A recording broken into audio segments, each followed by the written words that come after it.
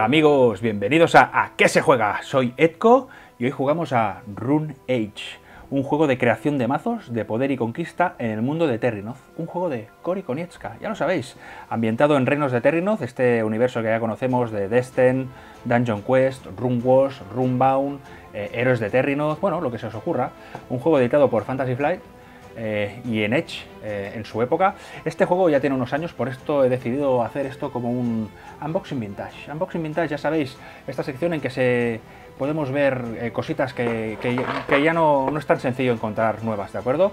Age era un juego de creación de mazos, un deck builder, también se conocen como deck builder, bastante peculiar, bastante peculiar. Lo diseñó Cory Konietzka, como ya he dicho, y fijaros, es un juego donde las típicas facciones de, de Terrinoth, los, los Dakan, los Utukilai, los eh, elfos Latari, los nigromantes, pues bueno, eh, se, enfrentan en, distintos escenarios. Y los escenarios se pueden jugar de maneras distintas. Hay un escenario competitivo, hay un escenario cooperativo, hay uno de todos contra todos. Bueno, hay distintos escenarios. Es un juego muy peculiar, es un juego que en principio no es muy popular, pero que tiene, tiene más miga de la que parece y creo que merecería un poquito, más de, un poquito más de amor por parte de la comunidad jugona, porque creo que como mínimo, y más teniendo en cuenta del año que es este juego, ¿vale? Más teniendo en cuenta del año que es este juego, creo que necesitaría, merecería un poquito más de amor porque creo que intentó hacer cosas muy distintas, ¿vale?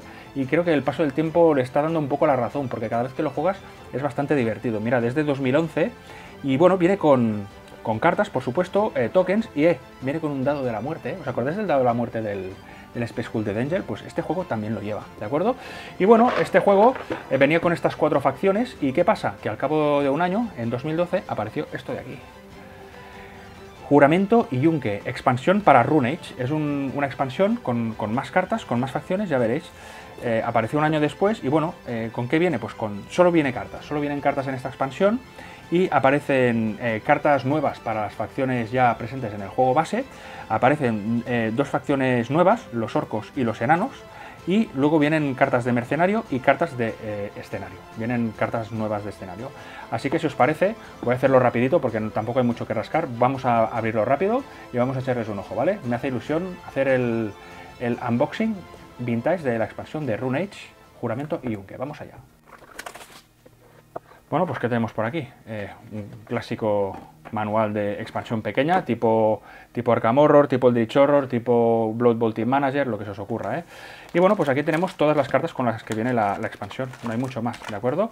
Así que si me dejáis, voy a hacer un poco de espacio y vamos a ver estos tres mazos así un poco más de cerca y ya, lo, iremos, lo iremos acabando. Bueno, ¿y qué tenemos por aquí? Pues mirad, unidades, eh, estos son los enanos, Runage eh, es un juego de creación de mazos parecido, si habéis jugado y os acordáis, al Thunderstone. Tus cartas suelen ser personajes que tienen habilidades de ataque y normalmente dependiendo del escenario que juegues, pues tienes que atacar a los jugadores del, del otro jugador o el otro jugador puede tener unas fortalezas bajadas a la mesa y si te las cargas todas ganas o a veces hay un escenario que hay, hay que matar a un, a un enemigo eh, puede ser cooperativo, puede ser competitivo el primero que mata al enemigo gana el, si entre todos matamos al dragón ganamos y si no perdemos es un juego difícil especialmente la variante, la variante cooperativa ¿de acuerdo? y mirad pues aquí son distintas unidades un guardián, una máquina excavadora bueno como siempre con un arte fantástico de esa época de Fantasy Flight que probablemente ya no volverá. Y bueno, todo con, este look, con este look de, de. ¿eh? Si os acordáis, el, Battle Lord segunda edición también tiene un diseño de cartas pues parecido a este de aquí. Troll gigante, madre mía, qué burrada de, bicho. Y bueno, aquí tenemos pues distintas distintas cartas que podemos comprar. Estas, aparte, en nuestro mazo, aparte de haber unidades, podemos comprar ciertos, ciertos efectos que pueden hacer pues, que tengamos habilidades durante, durante la partida.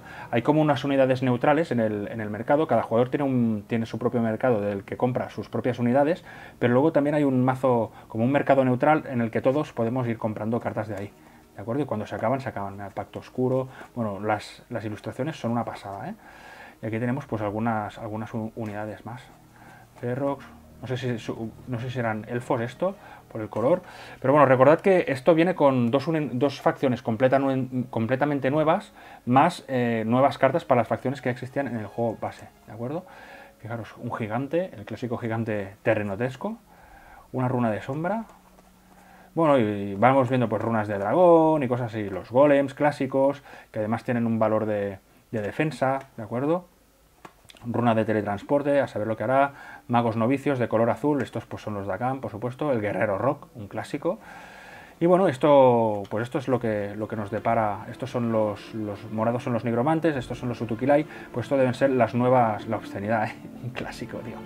Eh, estos son las nuevas unidades de, de las facciones que ya existían. Y aquí pues tenemos las distintas, estas cartas con un, dorso distinto, son las cartas de escenario, que dependiendo de los puntos que tengan de color aquí, pues tienen un nivel u otro y aparecen antes o después en el... ¿Veis? Esta tiene uno, estas tienen dos, pues aparecen antes o después en el escenario. Y aquí pues imagino que habrá cosas nuevas. Aquí hay más cartas que podemos comprar. Todas las que tienen este dorso son las que compramos y con las que jugamos nosotros. Fijaros, un dragón de sombra, bastante caro, ¿de acuerdo? Necesitas influencia para comprarlo. Hay dos tipos de, de dinero, digamos, en el juego. El oro y la influencia. Si no tienes influencia, el dragón de sombra no te viene, ¿de acuerdo? ¿Qué más hay? Pergamino arcaico, bueno, cosas, cosas interesantes. Y aquí pues son cartas de escenario, supongo, que nos explican cómo, cómo, cómo funcionan cómo funcionan las cositas. O son cartas, no, son cartas de facción. Estos son enanos y estos son elfos, supongo. Y estos son pues nuestros lugares iniciales, que suelen tener una, una vida, que si lo derrotas, pues pierdes. Dependiendo del tipo de escenario que juegues, vas a matar esto, las fortalezas orcas, estos son fortalezas que podemos usar para defender nuestra ciudad, que nos cuesta dinero comprarlas, eh, influencia en este caso, bueno, no, nos proporcionan influencia, cuestan dinero, cuestan dinero, ¿vale? Y bueno, cositas que podemos ir viendo por aquí. Y luego hay, hay ya cosas más nuevas como mercenarios, que creo que son estos de aquí, ¿de acuerdo? Mm, unidades que podemos añadir a nuestro mazo, bueno, cositas que tampoco voy a entrar en más detalles aquí porque ya no, no da para más. Pero bueno, me hacía ilusión enseñaros este Runage, Juramento y Yunque, una expansión de, de este juego de creación de mazos bastante olvidado y bastante denostado que creo que vale mucho la pena como mínimo echarle un ojo e indagar un poco de qué va porque es un juego bastante original y creo que si te lo, te lo añades a la colección realmente no tendrás nada como, nada como esto. Y ahora que la expansión empieza a ser un poco difícil de encontrar y di por suerte con una de ellas eh, precintada, pues dije, la voy a sacar en el canal, ¿qué coño? Y vamos a hacer un unboxing vintage, que desde el Caballeros Guerreros no sale nada. Pues bueno, ahí queda. Lo dejo aquí, ¿vale? No me enrollo más, ahora sí, espero que os haya gustado. Eh, os recomiendo, por supuesto, que le deis un ojo, que le echéis un ojo, un ojo, perdón, un oso no, un ojo a este juego, que vale la pena, ¿vale? Y como siempre, si os gustan los vídeos y el canal, pues por favor, os invito a que os suscribáis y le deis a la campanilla, así estaréis al loro de todo lo que voy publicando y así a mí me hacéis un favor, que, me gusta que estéis ahí al otro lado y comentando todo lo que veis, ¿vale? Venga, ahora sí que me despido, os mando un abrazo y nos vemos en el siguiente vídeo. Venga, ¡hasta luego!